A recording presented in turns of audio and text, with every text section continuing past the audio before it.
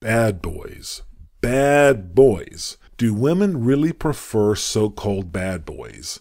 Is there any truth to that? And what is a bad boy exactly? And is there anything good about being considered one or being one? We'll dive into the subject right after this quick word from our sponsor.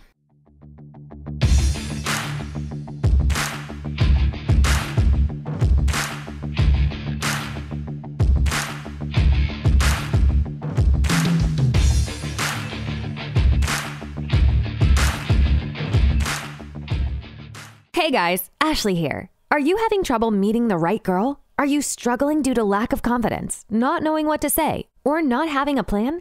Are you tired of being told to act confident around women without being told how? If so, I'd like to introduce you to the Gentleman's Guide to Flirting book from David Sharp. If you are afraid to approach women in public, this book is for you. If you aren't having success meeting women on dating websites or apps, this book is for you. If you're having trouble connecting with women on dates, this book is for you. The Gentleman's Guide to Flirting has loads of modern, field tested, and ready to use examples to help you confidently approach women and meet great women either in person or online. It also has practical, real world advice to help you truly get the most out of the dating process. And it has thoughtful, practical advice for cultivating and sustaining your relationships for the long term. It's got it all, and you're going to love it. The book's website is gentlemansguidetoflirting.com. That's gentlemansguidetoflirting.com. You can go to gentlemansguidetoflirting.com and click the Buy Now button, or just search for Gentleman's Guide to Flirting by David Sharp on Amazon.com or anywhere else you buy your favorite books or ebooks, and start changing your life now. Hello there. Welcome to episode 73 of the Gentleman's Guide to Flirting podcast. I am David, the author of the book of the same name, Gentleman's Guide to Flirting, available on Amazon.com and everywhere else you find your favorite books or ebooks worldwide. So, our question for this week is Do women really prefer bad boys? Meaning guys that misbehave or guys that mistreat them, guys that have quote unquote mishaps, in other words, cheat on them with other women or otherwise do unexpected things, whether that is good or bad. Do women really prefer, like, more the extreme sense of the term bad boy, like criminals, prisoners, scofflaws? So let's put on our scientists' white lab coats and have a look at some hard data to really dig into the question.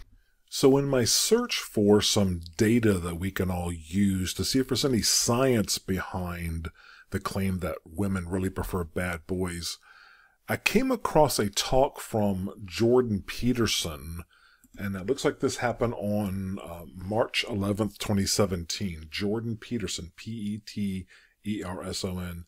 He's a famous author and speaker. I'm not saying that I, that I agree with everything he says, but this is just YouTube video that I came across as I was looking into the subject. Now, the specific YouTube video I'm looking at is uh, is uh, titled 2017 0311 Strengthen the Individual Q&A Parts 1 and 2. And I'm not going to go through that whole thing. It's uh, over an hour in length, but there was one reply to an audience member's question that was interesting and relevant to our t- our subject here. I'll I won't quote the whole thing. I'll just hit the uh, high points of it. And again, this is quoting Jordan Peterson's response from this video in a, in a talk he was given at the Ottawa, Canada, O T T A W A, Ottawa, Canada Public Library on or about March 11th, 2017. Here we go. So his reply was, women don't even like harmless men. They hate them. They like to claw them apart. What women want are dangerous men who are civilized, and they want to civilize them. That's Beauty and the Beast. Then he goes on, he says, I'll tell you a funny story, and only engineers could have come up with this because they're the only ones that have the unparalleled blindness to social convention that would allow them to discover it. The, so the Google engineers wrote a book a while back called, quote, A Billion Wicked Thoughts. A Billion Wicked, W-I-C-K-E-D thoughts which is a study of internet searches, billions of them literally. I'm still quoting Jordan Peterson. They were looking at a lot of pornography use. There's lots known about male pornography use and it's easy to understand. Males are pretty visually oriented and what attracts them to pornography is fairly straightforward. You can tell that if you look at graffiti in a men's washroom, you know, it's like two circles and a triangle and the men are absolutely transfixed by it. That was a joke. The quote continues, For women, the story is more complex. They use pornography too, but it tends to be literary because women tend to like words more than they like visual stimuli. He asked the audience, does, do you guys know what a Harlequin romance is? That's a, a series of like fantasized romance novels, romance books. He, he continues to say, that's the taming of the wild man, like the general theme of the, or the appeal of a Harlequin romance book. That's the, that's the taming of a wild man, essentially, by the desirable and virginal woman. If you think women don't want that, then you'd better bloody well come up with an explanation for Fifty Shades of Grey. That was a very popular book and movie um, in the past few years, which is the most rapidly selling novel in human history. It is the perfect female fantasy. It's exactly archetypically correct. It's Beauty and the Beast. Jordan Peterson continued, What the Google guys showed was the structure of Beauty and the Beast, though they didn't use that as a referent, that the female pornographic fantasy was wild guy, somewhat careless about the wants and desires of others, tamed by the magic of a single woman and brought into a relationship with her. He continues, but here's the comical part. This just made me laugh. What were the five categories of most desirable male entity used most broadly in female pornography? He says it's so embarrassing. Vampire, werewolf, billionaire, surgeon, and pirate. That's the end of the quote from Jordan Peterson from the Ottawa Public Library Q&A session in 2017. So let's take a quick look at the Billion Wicked Thoughts book, just to double check what Jordan Peterson said, um, because the way he said certain things, and I'm really not 100% familiar with his work, I'm not sure if I can just repeat him and consider that gospel Let's go see what A Billion Wicked Thoughts is about from the author's mouths. There's two authors, Ogi Ogas, O-G-I, last name O-G-A-S, and the second author is listed as Sai Gaddam, First name S-A-I, last name G-A-D-D-A-M. The book's ad reads, Want to know what really turns your partner on? A Billion Wicked Thoughts offers the clearest picture ever of the differences between male and female sexuality and the teeming diversity of human desire. What makes men attracted to images and so predictable in their appetites? What makes the setup to a romantic evening so important for a woman? Why are women's desires so hard to predict? Neuroscientists, neuroscientists OG Ogas, I'm probably horribly mispronouncing these names, and Sal Gaddam reveal the mechanics of sexual relationships based on their extensive research into the mountains of new data on human behavior available in online entertainment and traffic around the world.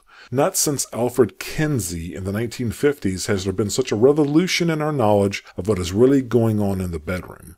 What Ogas and Gaddam learned and now share will deepen and enrich the way you and your partner think and talk about sex. That's interesting. So let's take a quick peek at their author pages. Ogi Ogas, a PhD, is currently co-authoring two books, and he named them. He was the project head of the Dark Horse Project in the Laboratory for the Science of Individuality at the Harvard Graduate School of Education. His credentials sound stellar.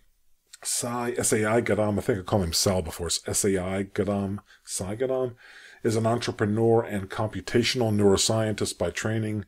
He previously co-authored A Billion Wicked Thoughts. Sai currently runs a technology startup that creates AI-enabled education products. He resides in Mumbai, India. Both of these people sound impeccably well qualified. So now they don't seem to be identifying uh, in 2021 as I record this as being Google engineers. So I don't, I think maybe the quote from Peterson is not entirely right. It wasn't like all the Google engineers got together and collaborated on releasing the results of these searches. I think these two highly capable and neuroscientists, PhD level neuroscientists, probably got access to Google's data for research purposes, legitimate research purposes, and wrote their book, uh, taking a look at these questions from their from their point of view, from a data science kind of perspective. So that sounds perfectly legitimate to me. So we just covered a lot of ground around looking into recent analysis that was done across a gigantic data set of women's searches around pornographic interests and the romance novel market. That's a weird mixed bag, but that's what we just did. I like data. I like science. That was interesting. Vampires, werewolves, pirates, and billionaire surgeons now, I might be with them on the billionaire surgeon one. You probably can't know too many of those. And the point that Jordan Peterson made about Beauty and the Beast is interesting. That was the bit about some women like to take on projects with their men where they know the guy isn't entirely right for them, but they think they can fix or change their guys. And I know some women like that. Perhaps you do too. But back to our real world question about do women prefer bad boys? Now, there is a lot of anecdotal evidence, at least with some women, indicating a preference for the perceived manliness, charisma, machismo, unpredictability, and just general fun of a bad boy. Perceived fun anyway. But does she really want a guy who is unreliable, who gets in bar fights, who is at risk of going to jail or prison, who abuses drugs or alcohol, who treats her like crap, who cheats on her, who loses his temper, who fails to support her and any children you might have, who is just irresponsible with money and isn't preparing for the future financially or by providing her with a great home.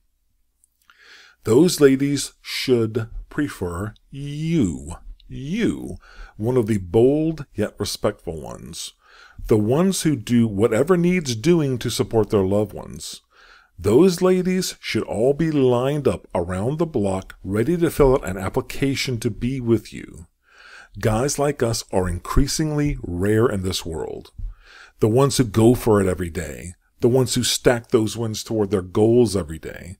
The truth of it is, some ladies prefer the former, the bad boy in the kind of worst sense of it, with the worst outcomes. But my thesis is, what I'm telling you is, what I'm suggesting to you is, that most women prefer the latter choice, the one I espouse, the one we talk about all the time in this podcast and we do in the book. Most women prefer the latter when the latter option is available to them and they think they can get that kind of guy. We are what she is looking for. Think about it that way. Keep that in your head. When you're approaching a lady, I know that I'm what she's looking for. She doesn't know it yet, but she's about to find out because you're going to get ready to go over and introduce yourself in a very kind and respectful way. You are what she is looking for. That is what you pursue. That is what you aspire to every day. She just might be walking around out there not knowing what's better for her and that you exist. And what she is looking for is you. And being that man and feeling confident and letting those lost ladies know a guy like you exists, that is what the Gentleman's Guide to Flirting book will help you do. Part one is about this general philosophy and mindset that I talk about in the podcast.